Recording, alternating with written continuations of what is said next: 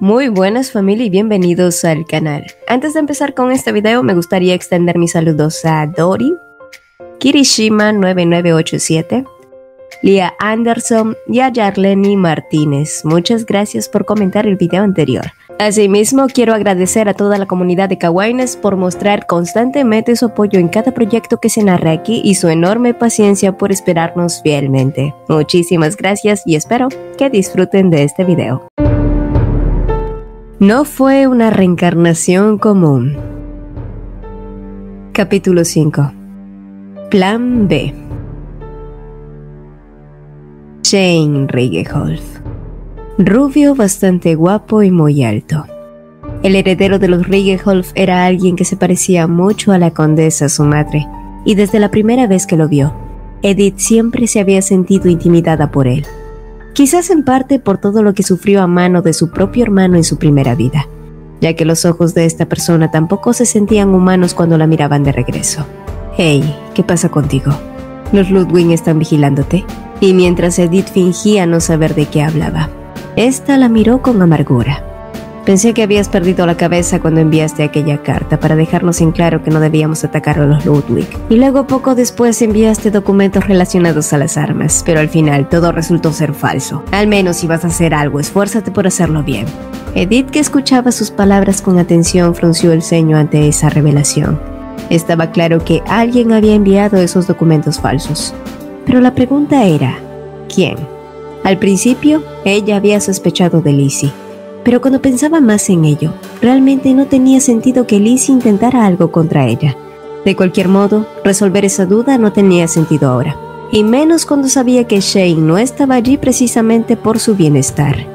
La carta que envié inicialmente fue sincera, pero el documento de las armas no fue algo que yo hiciera.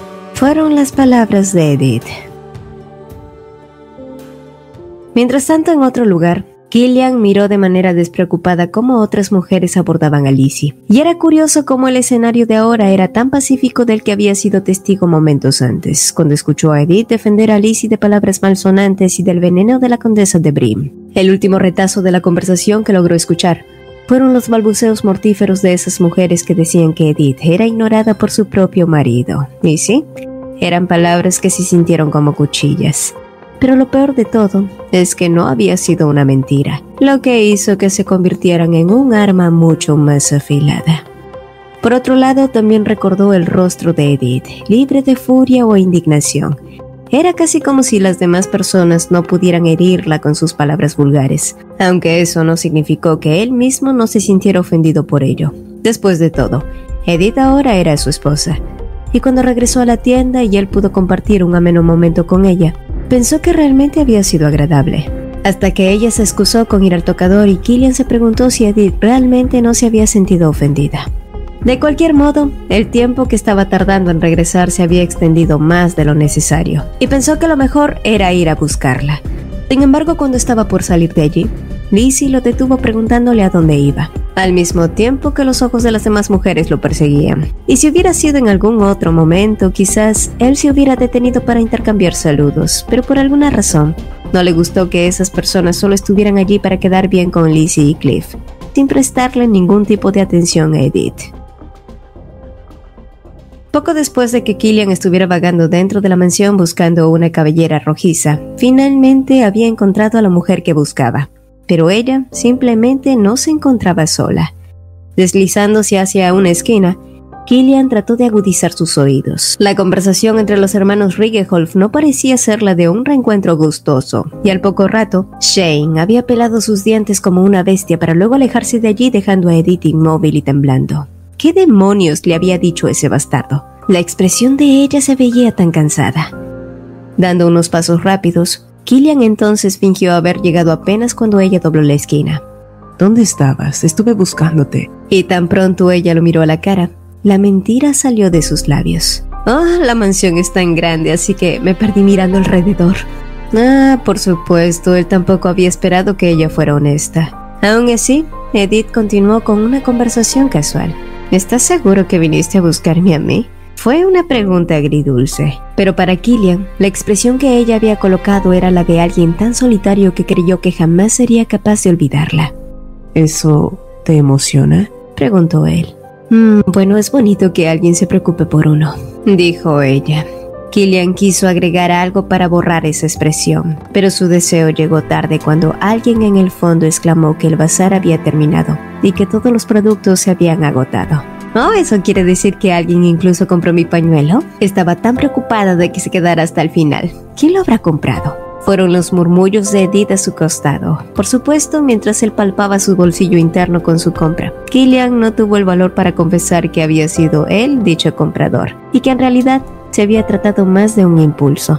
Cuando su madre le había revelado que Edith había bordado un lindo pañuelo, inspirándose en el color de sus ojos.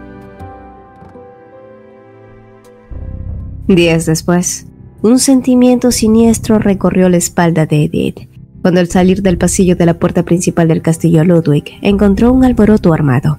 La duquesa, Lizzie, Cliff y Killian eran testigos de los alaridos de Sofía, quien gritaba angustiada el nombre de Edith como si realmente la extrañara. Shane a su lado también poseía una expresión sombría. Lamento todo este escándalo, pero Sofía era la criada personal de Edith y la extrañaba tanto, y se sentía tan inquieta por la seguridad de nuestra Edith. Fue entonces cuando Edith pudo darse cuenta de lo que estaban pretendiendo hacer ese par. Era la forma que tenían los Rigeholf para ajustar la correa en su cuello. Por favor, permitan que Sofía se quede aquí, sentenció Shane. Pero yo, yo realmente estoy bien, trató de refutar Edith. Sin embargo, fueron las palabras de Killian las que cortaron las suyas. Esa doncella es alguien que te ha acompañado desde pequeña. No creo que resulte un problema si ella se queda aquí a tu lado. Al menos así tu padre se sentirá más tranquilo. Ah, pero eso era algo que podía ser refutable. Desafortunadamente, Edith no pudo exponer ni a Shane ni a Sofía, puesto que cuando intentó abrir la boca para protestar, su lengua se retorció y el habitual pitido comenzó a zumbar dentro de su oído haciéndola tropezar. Y Sofía, que había sido mucho más rápida, la sostuvo fuertemente y aprovechó para susurrarle una amenaza. Nadie pudo sospechar que su actitud meritoria era en realidad la de una completa matona. Ay, nuevamente el flujo de la historia original intervenía. Sofía había sido una mercenaria experta en asesinato y robo, y recordando los episodios de la novela original, se suponía que en un futuro se vendría el arco del envenenamiento, las fugas de información y el espionaje. De cualquier modo, Edith se dijo que debía ser cautelosa alrededor de esta mujer. Desafortunadamente, Sofía había abandonado ya su papel de doncella preocupada y en vez de eso, su mirada se había vuelto tan fría como una puñalada. Y en un estallido, la mujer se le había acercado tomándolo del cuello mientras amenazaba. Es momento de corregir el comportamiento de un perro que olvidó las órdenes de su amo. Ay, no había que mencionar que la tanda de golpes que recibió por parte de Sofía había sido demasiado dolorosa. Aún así, era un alivio pensar que fue gracias al flujo de la historia original que esa horrible mujer no pudiera matarla. Después de todo, ese era un derecho que le pertenecía únicamente a Killian. De cualquier modo, Edith tampoco tenía deseos de ceder ante Sofía ni ante los deseos de su padre quienes seguían creyendo que aún había posibilidades de que el emperador actual y el duque Ludwig cayeran. Ellos no tenían ni idea de lo que pasaría realmente. Sin embargo, el problema ahora era que Sofía se había convertido en su doncella a tiempo completo, y desde entonces la mujer se la pasaba usándolo como un saco de box, golpeándola en lugares que nadie podría ver y matándola de hambre. El único consuelo de Edith era pasar horas trabajando junto a Linan y robando algunos bocadillos de esa tarde. Sin embargo, a partir del día siguiente, Edith se dio cuenta que esa sería la última tarde en la que podría llenar su estómago con algo más. Linan había salido por unos días de vacaciones y ahora no existían razones para ir a la oficina y evitar a Sofía. Asimismo, esta también creía que durante un tiempo la Edith que solía conocer había cambiado y mucho. Antes solo bastaba una bofetada para doblegarla pero últimamente, incluso después de una buena paliza, esa niña seguía abriendo los ojos como si la retara y movía esa boca de manera arrogante. Aunque claro, para Sofía eso no representaba realmente un problema. De hecho, hasta la resultaba divertido destruir la temple de una muñequita insolente. Y mientras se giraba en la esquina con una mueca vacía, llevando consigo la supuesta cena de su señorita, Sofía pudo distinguir a la distancia a tres figuras conversando. Eran Edith, Killian y esa maldita zorra de Lizzie Sinclair. y aunque era tan deslumbrante como decían los rumores. Para Sofía, esa chica no era más que una prostituta lujuriosa que engatusaba a los hombres con su cara inocente, tal como había hecho con Shane, quien antes de que ella partiera le había pedido que le informara todo acerca de esa chica. No le digas nada de esto a mi padre, ¿de acuerdo? Esa había sido su última orden. Y por supuesto, Sofía jamás se había atrevido a codiciar a Shane o incluso figurarse a ser su esposa, pero Lizzie Sinclair, nunca dejaría que esa bastarda tomara ese lugar tampoco. Ya habían pasado cinco días desde que Edith fue obligada a morir de hambre. El recuerdo de un enorme pastel de durazno recién horneado hizo que sus papilas gustativas se llenaran. Había estado tan ensimismada mirándolo que ni siquiera se dio cuenta que Lizzie y Killian estaban cerca y se le habían aproximado para invitarla a tomar el té. Eventualmente, Edith se negó a esa invitación. Comer en esos momentos tampoco habría servido de algo, ya que lo más seguro era que luego Sofía lo descubriera y la obligara a devolver todo su estómago, y de solo recordar las arcadas, los jugos gástricos y el dolor estomacal, el sentimiento patético incrementó y no fue de ayuda a sumarle la vergüenza que sintió al sentir la mirada de Killian sobre ella. ¿Se habría visto como una mendiga? ¡Ah, qué humillante! Sin embargo, fue poco después que Edith creyó alucinar por un momento. El dulce aroma a pastel rápidamente llenó la habitación, y cuando miró hacia el frente, Sofía entraba con un plato lleno de una tajada. Esto es parte de la señorita Lizzie. Si sigues viéndote así, estoy segura de que entrarán en sospecha, así que será mejor que te lo comas antes de que me arrepienta. Y aunque su orgullo aún se mantenía un poco intacto, Edith pensó que estaba bien ceder a estas alturas, así que pronto se llevó el pastel a los labios. Pero la satisfacción que sintió fue rápidamente reemplazada por un inmenso dolor. Todo su cuerpo comenzó a sudar frío, Edith cayó al suelo y la sangre comenzó a brotar. Y en medio de la confusión, pudo reconocer la escena de un episodio de la novela, cuando Lizzie le envía de regalo una tajada de pastel y Edith le coloca veneno para autoinfringirse dolor en una jugarreta viciosa. Al volver a abrir los ojos, la escena de aquel desgarrador episodio era exactamente como debía de ser. Sofía perforaba los oídos de todos, Cliff, Killian y Lizzie, mientras acusaba abiertamente a esta última de intentar envenenar a Edith. El flujo de la historia original seguía manteniendo su curso a pesar de las diferentes alteraciones que podrían haberse dado en las escenas. Pero Edith no podía rendirse, porque dejar que las cosas pasaran de este modo significaba que su muerte tampoco sería impedida así que debía encontrar la manera de detener el plan de Sofía. Sofía, llamó apenas Edith ante los ojos sorprendidos de los demás. ¡Ah! Mi señorita, no debería esforzarse, es obvio que no se siente bien. Obviamente sus verdaderas intenciones eran decir, cállate o te haré callar. Pero incluso sabiendo eso, Edith escupió dolorosamente sus palabras. No es para tanto. Obviamente solo fue una reacción alérgica. Siento que Lizzie tenga que haber escuchado esas palabras tan duras. Y como era de esperar, fue Cliff quien bufó ante la situación, como si realmente no creyera nada de lo que estaba pasando, y como para tratar de demostrar su posición, rápidamente ordenó a las demás sirvientas que registraran la habitación de Edith, a pesar del feroz salto de Sofía. Pero siquiera había forma de que encontraran un veneno que posiblemente esa mujer ya habría escondido. En respuesta, un pequeño frasco que claramente era veneno fue encontrado. Y dijeran lo que dijeran, no había forma de no encontrar sospechosa toda esta situación. Esto es interesante. Fue lo primero que dijo Cliff agitando el frasco entre sus manos. El rostro de Sofía era nervioso y para el final de la tarde ya todos parecían estar convencidos de quién era la verdadera culpable de todo. O eso pensó Edith. Killian, por otro lado, estaba completamente sumido en la confusión. Preguntas como ¿por qué Edith trataría de envenenarse a sí misma? ¿De verdad era una mujer tan viciosa al punto de autolesionarse a sí misma para inculpar a Lizzie? Al final había resultado que Edith sí se había sentido mal por ver cómo todos elogiaban a Lizzie en el bazar y esta era su forma de llamar la atención. Pero ¿no era un método demasiado patético? Ah, Killian estaba preocupado. Y todas esas preguntas se volvieron más severas incluso cuando escuchó las explicaciones del médico. Resultó que el veneno que Edith había consumido no era una sustancia tan letal, pero debido a la condición en la que aparentemente su esposa se había forzado matándose de hambre durante varios días, era lógico que el efecto de este mismo hubiera tenido mayores escalas. Pero por mucho que Killian trataba de entender esas palabras, no lo consiguió.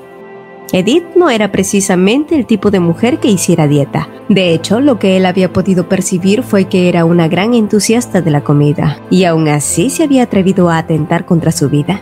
Era bastante ilógico. Pero, ¿qué tanto conocía realmente a Edith? Antes de que se casara con ella, todo lo que sabía era que Edith solía ser el foco de atención. Pero ahora mirándola acurrucada en su cama retorciéndose por los dolores estomacales, simplemente no podía entenderla. ¿Por qué tomaste el veneno? Dijo él más para sí mismo, sin darse cuenta que en esos momentos Edith salía de su propio estupor y lo había escuchado. Ah, justo como pensé. ¿Tú también crees que fui yo quien hizo esto a propósito? Su voz apenas era un susurro, pero sus palabras seguían insistiendo que definitivamente ella no era la culpable. Y por extraño que pareciera, Killian sintió como si estuviera escuchando una súplica.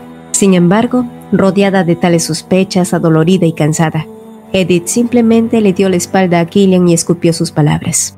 Vete. Si no tienes nada que decir, por favor, vete. Ella ni siquiera lo miró una sola vez. No había enojo ni tristeza en su voz. Y fue solo entonces cuando él se dio cuenta de algo. Edith nunca había esperado nada de él. Al final, la única que defendió su inocencia había sido Lizzie, y tal como se esperaba de la protagonista de la historia. Ella había llegado con palabras honestas que habían traspasado más que las conciencias. Es demasiado injusto y cruel presionar a Edith de esa manera. ¿No han tenido en cuenta que ella también tiene la misma edad que yo? Y con esas palabras, los Ludwig habían cedido y dejado las cosas pasar. En la novela original el resultado también había sido el mismo, aunque por supuesto en aquel caso Edith sí que había sido la culpable. De cualquier modo, gracias a la compasión de Lizzie, Edith pudo regresar a sus días anteriores sin muchos cuestionamientos, y de algún modo también se sintió en deuda con ella y un poco culpable por haber dudado en algún momento de Lizzie. Y por esa misma razón, Edith decidió hacerle un regalo. Y en realidad en la novela, la Edith original también había hecho un regalo como señal de disculpa, el regalo consistía en un juego de bordado que había envenenado previamente. Pero siendo que en esta ocasión su verdadera intención era llevarse bien con Lizzie, Eddie tomó todas las medidas minuciosas y empaquetó por sí misma los hilos siguiendo el curso de la historia original. Total, ¿qué podría resultar mal, verdad? Bueno, las cosas no salieron tal como Edith esperaba. El maldito flujo de la novela original siguió interviniendo convirtiendo a Edith en una verdadera villana. Habían pasado pocos días tras darle su regalo a Lizzie, que de pronto la puerta de su habitación se abrió y un Killian enloquecido entró. Al inicio Edith no había sabido responder a qué se referían todas sus acusaciones, pero cuando éste se detuvo y le explicó que Lizzie había caído inconsciente por ser envenenada y que había resultado ser los hilos que ella misma había enviado los que contenían dicho veneno, no hubo que mencionar quién creían que era el culpable esta vez por lo que Edith simplemente se quedó de piedra, porque incluso si ella no había envenenado los hilos, alguien más lo había hecho por ella con tal de que el flujo de la historia original nunca cambiara. Por otra parte, era obvio que Killian la mirara como si contuviera su ira. Los eventos ocurridos recientemente siempre parecían girar en torno a Edith. Sin embargo, ella trató de razonar con él. Escucha, solo piénsalo un poco, ¿de acuerdo? Ya todos sospechaban de mí por el caso del pastel, ¿De verdad creen que sería tan estúpida para hacer algo así? ¿En momentos como estos? Por supuesto, Killian torció el gesto en una actitud que demostraba que quería creerle y al mismo tiempo no. Y fue allí que a Edith se le ocurrió una buena idea. Escucha, yo tampoco quiero que sospechen de mí. Así que, por favor, pon más sirvientes para que estén a mi cuidado. Y como era de esperar, Sofía saltó con ojos aterradores y hasta casi se podían escuchar los chirridos de sus dientes apretados. Afortunadamente, Edith no tuvo que agregar mayores argumentos, ya que Killian pronto estuvo de acuerdo y había vuelto a asignar a Ana como su doncella personal. ¡Uf! Ese esposito suyo no tenía idea de lo mucho que ella se sentía agradecida. Killian la había salvado sin siquiera saberlo, pero ya se encargaría de agradecérselo después. Ahora mismo el verdadero problema era cómo harían para enfrentar esta nueva ola de sospechas contra ella. Sentados junto en la soledad de su habitación, Edith y Killian trataron de razonar más allá de las posibles personas que tendrían motivos para envenenar a Lizzie. El comerciante de hilos había sido puesto en custodia, y más allá de la doncella personal de Lizzie, solo eran Cliff, la duquesa y Killian los que tenían un contacto directo con ella. Y claro, era difícil creer que alguno de ellos pudiera hacerle daño. Aún así, Edith no iba a dejar que volvieran a poner su nombre en el barro. Mm, últimamente los hermanos Sinclair no han estado muy silenciosos. He escuchado según los rumores que ellos no se llevan muy bien con Lizzie. E incluso intentaron hacerle daño en el pasado. Digo, no quiero hacer una acusación directa, pero ¿no existen posibilidades de que ellos hubiesen intentado algo? ¿Podemos garantizar de que no hay espías trabajando para ellos aquí? Ya sabes, hay muchas cosas en juego. Los Sinclair no le tienen buena estima a los Riegeholf ni a los Ludwig. Es decir, no me sorprendería. Incluso yo sospeché de ustedes cuando me incriminaron por los documentos falsos. Dijo Edith en una metralla de conclusiones haciendo que Killian saltara de su asiento por esto último. Y era obvio que no le había gustado para nada ser juzgado como el culpable. Y bien, al menos así sabría un poco lo que ella misma había sentido en esa ocasión. En cualquier caso, su última conclusión fue que el mayor sospechoso en esos momentos eran los Sinclair, lo cual para Killian fue una especulación bastante plausible. Además de ser así, eran argumentos que tanto su padre como su hermano podrían tomar sin que Edith tuviera que cargar con el peso de la culpa. Aunque si ella era honesta consigo misma, realmente no le importaba que ellos la vieran como una. Realmente no me importa si ellos no me creen. Lo único que me importa es lo que Lizzie opine. Ante sus palabras, Killian abrió los ojos como si realmente estuviera sorprendido. ¿Tú no odias a Lizzie? Es decir, todos parecen elogiarla más a ella que a ti. Edith lo miró sorprendida brevemente, y sí, puede que en algún momento ella también hubiera sentido celos de la protagonista. Pero ¿cómo odiabas a alguien que te había defendido a capa y espada, verdad? Sonriendo, Edith tornó los párpados y dijo, Killian, yo soy Edith Ludwig. ¿Acaso te parezco a alguien que estaría celosa solo porque la elogian más que a mí? Killian parecía estar momentáneamente sin palabras, y por primera vez Edith se sintió satisfecha de haber sido tan descarada frente a él. Todo su coraje, su autoestima elevándose como la espuma. ¡Chúpate esa, Killian! quería gritar. Pero entonces la suave presión de una mano en su nuca hizo que ella se tensara. Toda la emoción que sintió se convirtió en nerviosismo pensando que se trataría de algún ataque. Pero cuando Edith elevó sus ojos, el único ataque que recibió fueron los labios de Killian que se deslizaron sobre los de ella con asombrosa suavidad. Y por un breve momento, Edith intentó rebelarse y escapar. Pero su resistencia se hizo añicos cuando la lengua de él se deslizó dentro de su boca en un suave suspiro. La armoniosa sensación de otra persona siendo blanda se sintió extraño, como un festín de emociones cálidas, vertiginosas y dulces. Y tras un largo y tendido beso, finalmente ambos se soltaron sin aliento. Todo había sido tan repentino, y en medio de la confusión, Killian se había levantado diciendo que compartiría sus conclusiones con su padre para luego marcharse de allí precipitadamente. Había sido tan absurdo, pero incluso en una novela tan poco común como esta, incluso escenas como un beso espontáneo, parecían estar hechas de forma predeterminada. Y sí, fue sorprendente, pero definitivamente había sido muy bueno. Con los días venideros, Edith fue mejorando hasta recuperar sus energías. La fachada de ser monitoreada había servido y con suerte había podido evitar a Sofía la mayor parte del tiempo. Por otro lado, el envenenamiento de Lizzie era un tema que seguía en investigación. Tras un largo debate, Killian había abogado por la inocencia de Edith y se había determinado que las pruebas eran demasiado vagas para que ella asumiera toda la culpa. Sin embargo, no fue lo mismo para Cliff. Cliff estaba seguro que su pequeño hermano había sufrido un lavado de cerebro por parte de esa Edith, y él no podía estar de acuerdo que esa mujer se saliera con la suya. Fue una ventaja satisfactoria que además Catherine, princesa y mejor amiga de Lizzie, también estuviera de acuerdo con él. Así que días después, Edith, que finalmente se había recuperado de su dolor, había tenido que atender al llamado imperial por parte de la princesa Catherine. El motivo, según la duquesa, inocente curiosidad. Catherine solo quería conocer a la nueva nuera de los Ludwig. Por supuesto, para Edith sospechaba que había algo más entre manos. Y cuando finalmente estuvo parada frente a ella, la atmósfera tensa, la actitud apática y los comentarios añosos le dieron la razón. La princesa Catherine no era la clásica princesa que actuaba según las normas sociales o la etiqueta básica de la realeza, no. Su naturaleza fuerte doblegaba a muchos y el único detonante que haría doblegar a esa mujer de espíritu libre era la protagonista. A pesar de que originalmente Catherine había sentido una gran aversión por Lizzie, ya que esta última le había quitado el afecto de su primer amor, Cliff. En la novela original se decía que Catherine había sentido inmensos celos, pero eventualmente la actitud cálida de Lizzie habían hecho que se ganara su afecto y ahora mismo Edith tenía fe de que ella tuviera el mismo golpe de suerte. Y aunque sabía que había estado envuelta entre muchos sucesos conspiradores, lo único que pudo hacer fue disculparse por cada acto vergonzoso que había cometido la Edith original y defenderse por cada otro que no había cometido en la actualidad. La princesa posee un buen juicio, así que espero que me juzgue con franqueza sin dejarse llevar por los rumores. Esas fueron las palabras honestas de Edith en esa extraña atmósfera. Momentos después, Edith suspiró aliviada al ver que la reunión con la princesa no había pasado a mayores pero el sentimiento de tranquilidad no duró demasiado cuando pronto sintió el tirón en su brazo.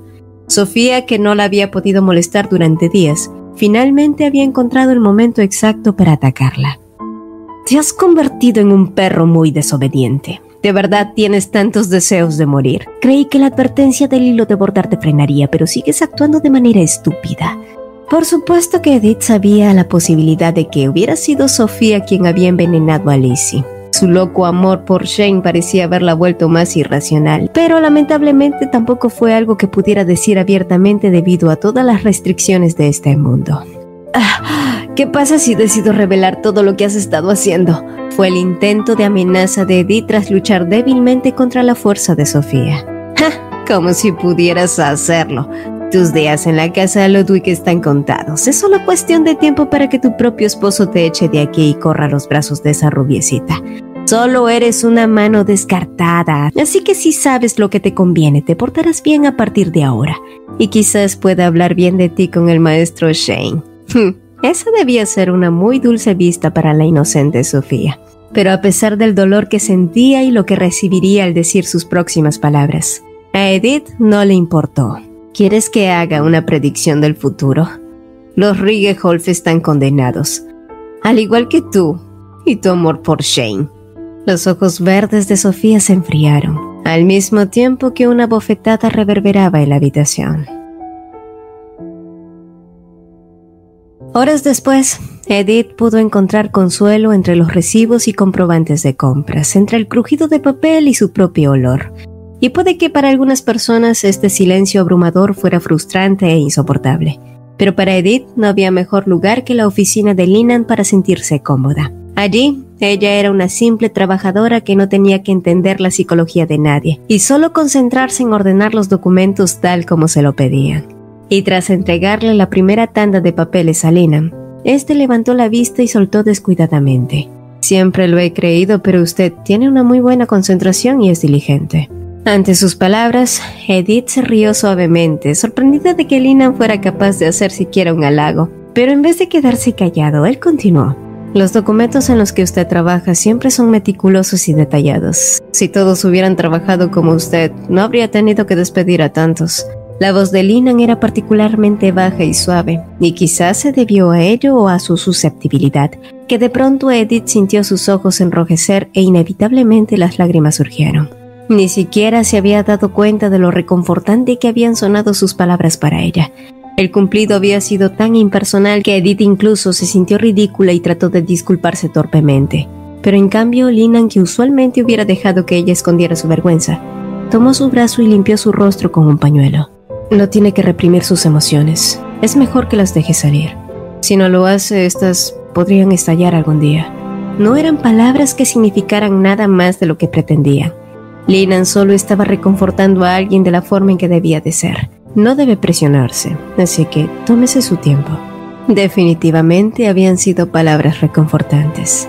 Y mientras Edith calmaba su respiración, ninguno se dio cuenta que un poco más allá, Killian había sido testigo de su intercambio. Aquel mismo día, y tras haber terminado con sus labores, Edith extrañamente se sintió un poco más animada, un personaje secundario la había reconfortado. Y era curioso cómo en la obra original estos no parecían tener mayor relevancia, y puede que se tratara de una simple conjetura. Pero cada vez que lo pensaba, solo parecían ser los personajes principales los que estaban dentro del dominio de la historia original. Y si eso era cierto, bien podría cambiar su situación utilizando un plan B, ¿no es así? Entonces eso le daría una gran oportunidad, y puede que solo fuera una pequeñita, pero si con ello podía escapar de la muerte, o del hecho innegable que algún día Killian la descartaría, los personajes secundarios eran su mejor opción ahora. Sin embargo, esa misma noche, Edith miró con ojos sorprendidos a Killian quien había llegado a verla inesperadamente. Y mientras ella trataba de comprender la situación, este simplemente había preguntado, ¿No tenías intenciones de ir a verme? ¿Acaso lo que hicimos la última vez no fue de tu agrado? ¿Qué demonios le había pasado a este hombre?